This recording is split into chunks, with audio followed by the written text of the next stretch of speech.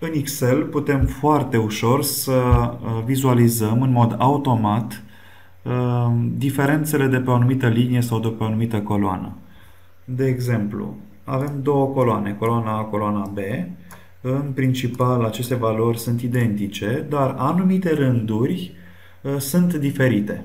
Dacă avem foarte multe rânduri, e destul de complicat să vizualizăm prin ce diferă Uh, fiecare celulă de pe un anumit rând.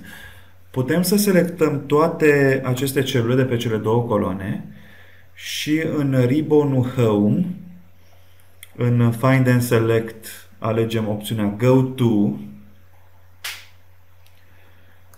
Din Go To alegem Special.